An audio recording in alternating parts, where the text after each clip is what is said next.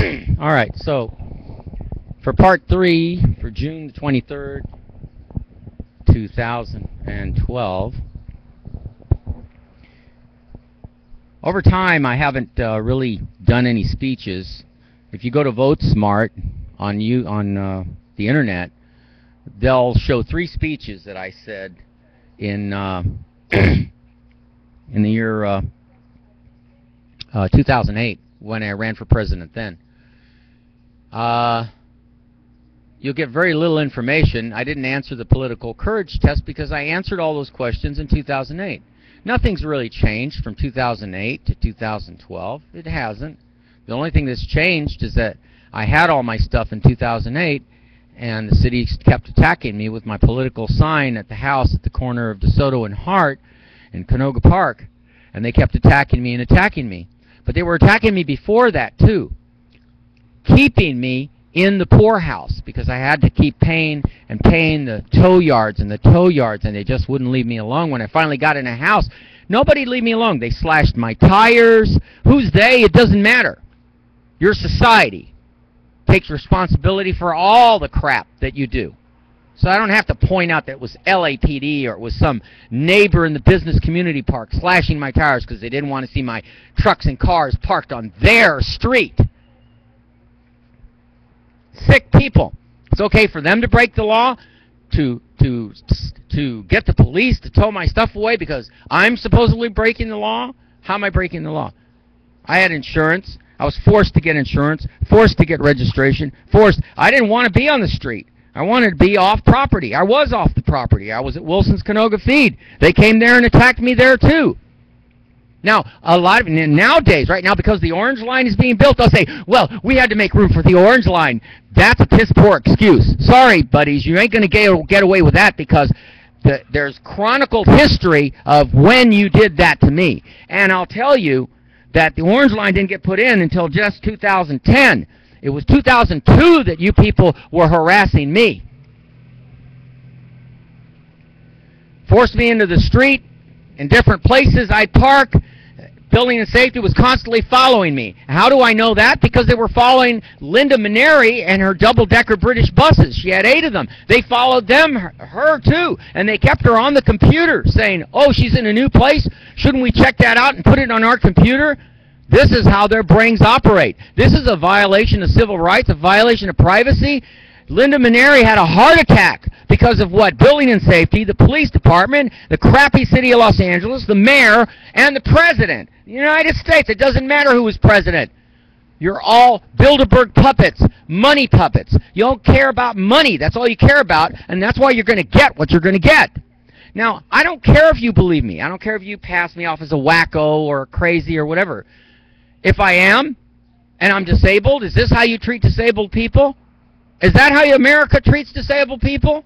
Because all the people in the world should know how they treat disabled people here. All the people in the world should know how you destroy a person's ability to create any kind of success for themselves. Did Donald Trump in the last three years after my house was burnt at DeSoto and Hart, and the only reason the fire department couldn't arrest the person because they didn't have enough evidence. Did Donald Trump call me on YouTube? Did any rich SOB call me and say, hey, see, I know you're having trouble. I know this is terrible. I don't want to see your everything taken from you. Here's some money. You could do whatever you want. You could stay here or you can leave the United States. I would have left in an instant, a second. It wouldn't take me not even a nanosecond to think I want out of here. With my hard worked for possessions. Each person is entitled to live and enjoy the fruits of their labor. Obama's enjoying the fruits of his labor. I see other people in the world here enjoying the fruits of their labor, but you took mine away from me. So maybe some big secret has been bestowed on me, and I know how the planet Earth is going to end, and I don't care. Yeah, I'm listed as running for president. So what?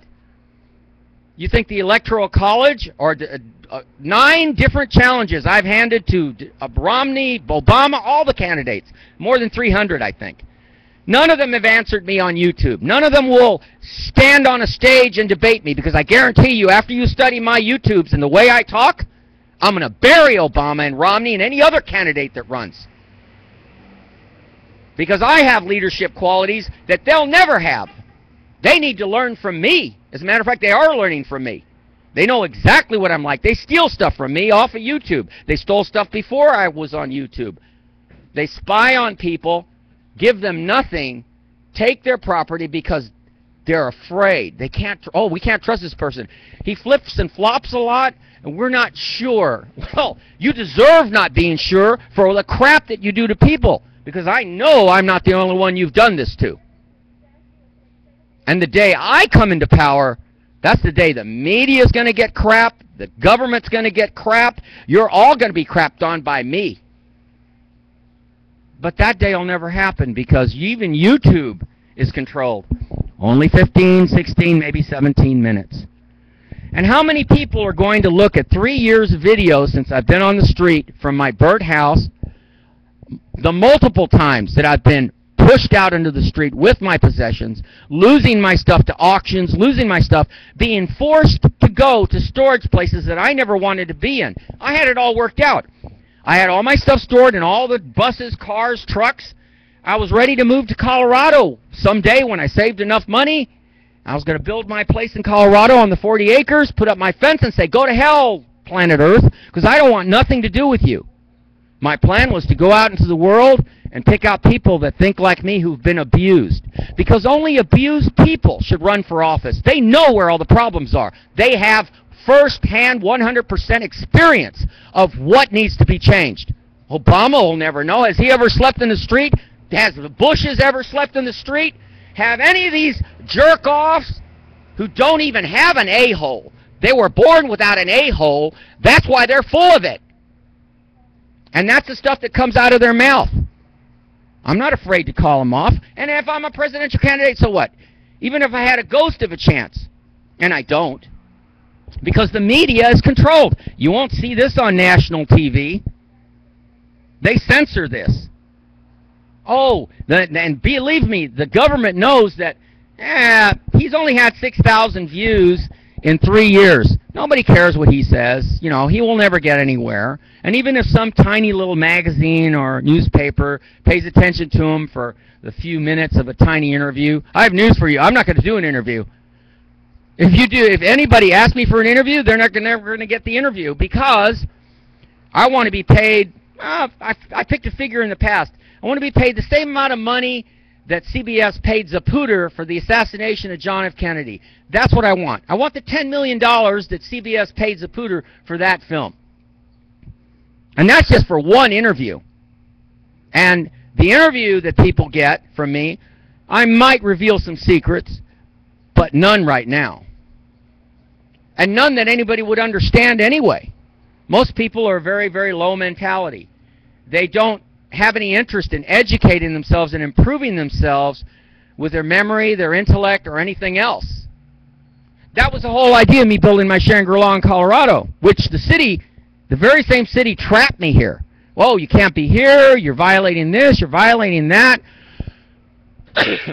they trapped me here by taking my stuff and continuing to sabotage my life everywhere I went to the point to where I'm reduced down to a bicycle, a laptop, and what? YouTube? YouTube ain't going to get me elected. Who's going to watch this? Who's going to even give a hell? Eight minutes of ranting and raving. People can't keep up with what I'm saying anyway. Their brains don't multitask as fast as I do. They can watch my videos over and over again, but I think I'd even get tired of watching myself because I've watched some of these videos and I go, oh, I got to go to something else, take a break. See, I'm a lot more normal than most people think. But I hide that part of myself because you people don't deserve the kind of normalcy that I 100% own. You're not allowed to share in that normalcy. Only friends would be allowed that, and I don't have any friends. Any friends that are any use? Not really. They're acquaintances. They come, they go, I talk, there's a pleasant conversation, but they've managed to block that too. If I built my place and left in 2004 like the way I had planned to, I would have been in Colorado building my glass domes, Because I don't believe in sleeping in a stupid... How many people are so stupid they sleep in their bedroom and watch some stupid ceiling? I like, when I lay down, I like looking at the stars every night. That's intelligence. You people live wrong. You build these houses, they're like coffins. Who wants that? And I'm not claustrophobic. I'm just saying, you build coffins. Who wants to look at a stucco ceiling their whole life? And if you're going to make love, you got to make love looking at the stars, seeing the grandeur of the universe. That's when it really means something. But no, let's leave the lights on, let's do this, let's do that, blah, blah, blah. Oh, yeah, I can look out the window maybe, but that's sideways.